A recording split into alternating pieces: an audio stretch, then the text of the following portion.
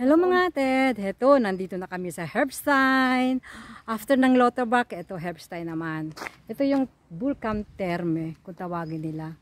Pwede ka dito ng ano, dito daw gamot yung tubig dito pag pumunta ka dyan sa swimming pool na yan. Yan o. Oh. Ayun, yung tubig oh. Hmm. Hindi itong swimming pool, Mari, yung pinupunta namin dati ni Ralph. Andiyan sa loob. Kaya nga, thermal bath. Yan, yan si Mari ko, oh, pagod na. Napagod na siya. Yan, Mari, meron kang kasunod. Huh? Yan. Dito kasi ako nakatira dati sa Herbstein noon, nung hindi ko pa nakilala si Ralph. Kasama ko yung anak ko. Kaya alam ko ito dito. Ayun, tubig oh. Ito yung tinasabi kong thermal bath. Yan. Maganda daw ang ano dyan, eh, yung tubig dyan. Nakaka, nakakagaling ng ano, ng may sakit.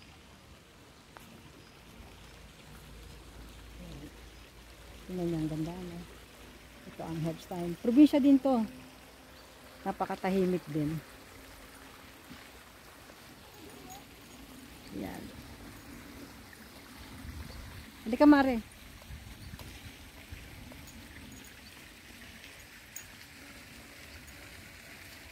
May Hello, may running water dito. May, running water dito. Ayan. Dati marami mga bulaklak dito ngayon ano. Noon Maria no, ba't ngayon wala namang bulaklak kasi nga sobrang init. Walang ulan. At saka walang ulan dito. Kaya timo yung mga grass nila oh. Patay na ang grass. Mga ano na patay na. Yan si Mariko. Pagod na siya kakasama sa akin. Tsaga din niya ako samahan. Yan yung water. Running water yan. Kaya pwedeng maggawa ng fountain dyan. May mga isda yan dyan. Meron ba? Oo naman Mare, may mga isda dyan. Ang isda dyan, ano Mare, yung forele. O, tingnan nyo naman yung thermal bath ng Herbstein. Hindi lang masyadong maganda ngayon kasi nga yung, yung, yung grass puro ano na, dry na masyado. Wala kasing ulan. Pero maganda yung sunflower nila, yan eh. Yung sunflower nila. So, hindi ka maaari punta tayo sa bridge. Bridge over troubled water. Yan ang bridge. Dito tayo. Bago ba yung mini golf nila dito? Mare? Kasi tagal ko nang hindi nakapunta dito eh. Yan, ito yung sinasabi ko sa inyo. Bridge over troubled water. Ganda, no? so romantic. Ito. Dito kami ni Rat no na dumaan, nag, nag-bike kami. Tapos dito kami umupo. As usual, dito siya nag-smoke. Ito. Yan, dito. Yan o, oh, diba? Ang ganda. So romantic talaga. Pag nasa probinsya ka talaga, tahimik na tahimik. Lalo na ngayon Monday, walang katao-tao. Kami lang ni Mariko ang tao dito. Mari ganyan talaga tubig kasi hindi nga nadadagdagan. Hindi yan madumi. Malinis yan. Grabe ka naman. Huwag mo sabing madumi. Walang madumi sa Germany. walang, walang madumi sa Germany. Ang dumi-dumi. Mare, nat nature, nature yan. Hindi yan dumi. Nature yan. Ano ka ba? Ikaw na kaya pumunta sa nature. Hindi ka katulad sa Pilipinas na nilalagyan pa nila ng ano, pampakintab. Kasi ang mga German, gustong gusto nila ang nature. Yung talagang ganun na ganun talagang itsura. O, di ba? O, ganyan, nature yan eh. O, timo, talagang nature na nature. Nature, nature. Yan ang gusto ng mga German, Mari. Yung uupuan nila, nature. O, di ba? Para ka namang hindi mo kilala mga German. Hindi mo. hindi na. o, di ba?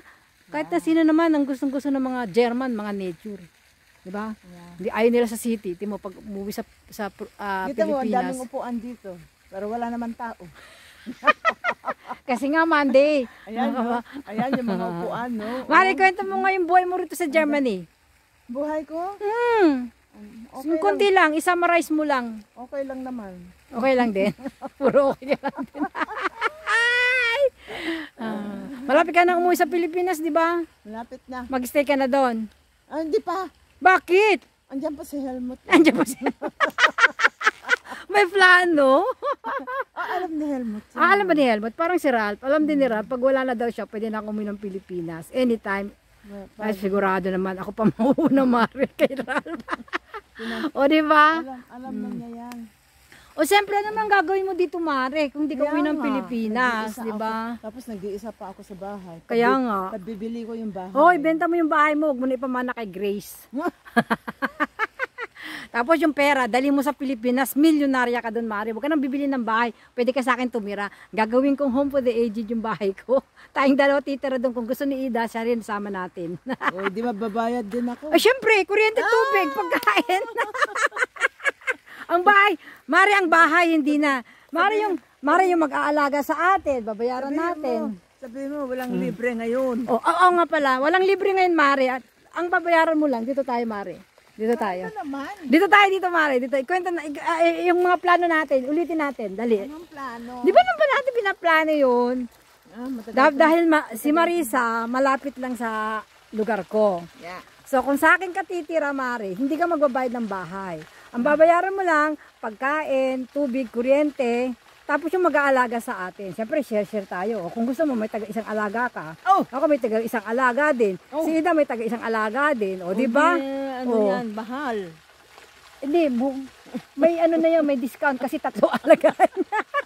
Kaya mag-submit tayo ng resume nyo. O, tatlo yung aalagaan nyo. O, mga fresh from Germany. O, di ba? Presma, old, Kailangan pala, old woman from Germany. ah, alam mo Mare, ang gagawin natin, yung bahay ko sa baba, gagawin natin kwarto natin yun. Yung mag-aalaga sa atin sa taas ng bahay ko. oh, Eh, syempre, hindi tayo makakaano sa, sa ano eh, sa, sa taas. sa, oh, sa taas, yung, kasi ma- Hindi mataas, mataas taas. yung hagdanan, Mari. Maliban na lang kung lalagyan ko ng lift eh. Aso. Oh, kung gusto mo mag, Aso, yung ano, yung, yung upuan. upuan na bababa siya, ganyan. Yeah, tapos tataas. aakyat din. Kung yun ang gusto mo. Kasi dalawang kwarto doon at saka isang CR. Ngayon sa baba, isa lang kwarto doon. Hindi tayo pwede mag, magsama sa isang kwarto, Mari, kasi malakas akong humilik. Eh, baka, baka hindi ka makatulog Ako pagkatabi din, mo ako. naghihilik na rin ako. Oo, yung pala eh. Di ang gagawin natin Pareho ngayon, na tayo yung sala, sala. magko-contest na ng halik. Oo, yung sala gagawin natin kwarto. Tapos palalakihin natin yung ano, yung yung CR. O kaya pagagawa tayo ng lift eh, para dun tayo sa taas. No? Maganda sa taas, Mari. Dalawa, dalawang Alam mo, kwarto yun doon. Malaking Alam kwarto. mo, madali lang maplano, Mm. pero sa gawa, mahirap. Madali, ay Mari, kailangan ta- tagal, Mari talaga, pina, dapat pinaplano na yun talaga, Mari. Ganun talaga yun. Ang ganda ngayon, walang araw. At saka yung, yung, ayun na, malamig-lamig na yung hangin dito. O, di ba? Ang sarap. Ang sarap talaga dito. Tinan nyo naman, oh. Mga ated, o yan. Tamang-tama sa aming mga lola na dito magstay. Oh. Pero may may ng konti uwi na kami kasi ah, inaantay na inaantay na si Maring Selly na, ng kanyang darling. Ako naman hinihintay ako ng bodyguard ko. Ah! ayan. Alam mo, Ano 'yon, Maring? alam mo, Let, Oh, malayo ka pa na ano, na. na sabihin mo na ikaw eh old old daw. Mare, mag, na. mag, pag nag, 60 na ako, Mare. Pag nag 65 na ako, magpe-pension na ako. Hindi na ako magtatrabaho. Kung Mare lang, 63, ah, mag-pension na ako eh. Ayaw mo na. Kahit maliit na. Mare, ano naman gagawin ko sa pera kung Baka hindi mo makuha ng whole. Kahit na. Basta may 400, 500 euro ko, tama na yun. Kahit na nandyan pa si Rab. Hindi mo na ma-full. Sin, kahit na hindi ma-full, sabi nga ni Rab, basta kung makukuha ko ng 63 ako, okay na yun sa akin. Saka na, wala naman akong pagbibigyan na eh.